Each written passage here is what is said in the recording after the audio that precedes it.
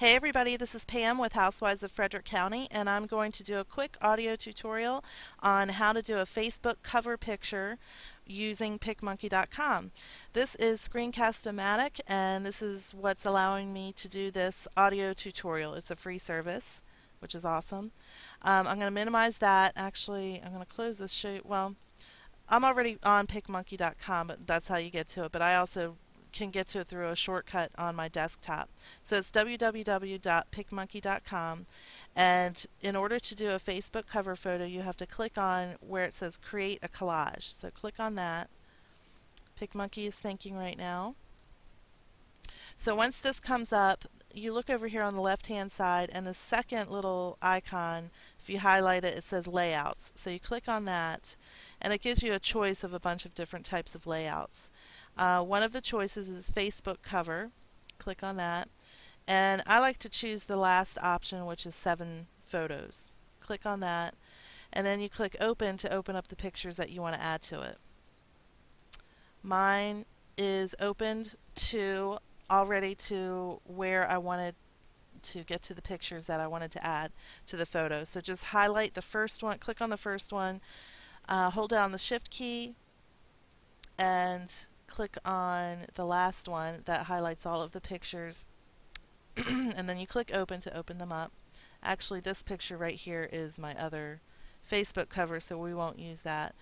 So then you just click and drag the pictures over to the format that you want.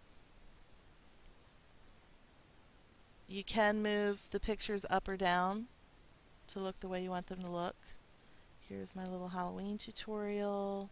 Francis Scott Key at Mount Olivet Cemetery, one of the covered bridges, and my toasted pesto pine nut sandwich.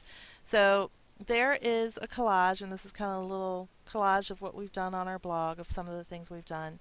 Um, you can go back to this little icon that says background, and up here where it says spacing, you can slide this up or down, the higher you slide it, the smaller the pictures get and the bigger the frame gets. You can bring it all the way back down to zero and there's no frame at all. The pictures are as big as they're going to get. I like to have a little bit of a frame. You can also round the corners, so the higher you round them, the more of a circle they are, and the lower, or if you just bring it back down to zero, it, it just keeps them squares. Then in the color section, if you want to, there's a website, I already put it on here. It's html-color-codes.info. You can, if you scroll down here, you can pick a color here and it gives you the actual HTML code that you can put in, 34C EDC. Click on that, it gives you a different code. And what you do is you put that into this box right here to give you the exact color that you want. I'm sorry, this box right here. So if I want a certain color, let's say 719844, that gives me like a purplish type of color. Uh, any part of the photo, choose that color of the background. Enter. Let's try a different one. Um, 7C 247A. Enter. And that turns it into a dark purple color, which I like. Um, so I will keep it at that color. It's It looks the way I want it to look. So now I can click Save. And over here it says Save Photo. And what I want to call it is Facebook cover photo. And I'm going to just replace this one. This was my old one. So I'm going to call it Facebook cover photo. And then click Save. It's saying it already exists. Do you want to replace it? Yes. And it's been saved. So if I go back to my pictures, which it's over here, pictures, and then blog,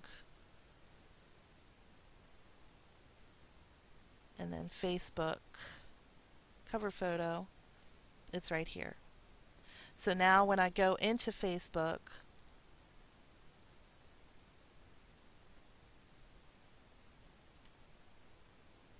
right here, Housewives of Frederick County, this is the existing one. If you highlight over the Facebook cover photo, you can find this where it says change cover. So you click on that and you can upload a new photo. This is the new photo I'm using. Click on that, click open. It's pretty much the same thing, but I just wanted to show you how to do it. And then save changes. And that's it. That's how you do a Facebook cover photo using PicMonkey. And we would love for you to visit our site, housewivesoffrederickcounty.com, and see other things that we've done, such as tutorials, crafts, recipes, um, just helpful housewife tips. And we'd love for you to be a subscriber. Thanks a lot and have a great day.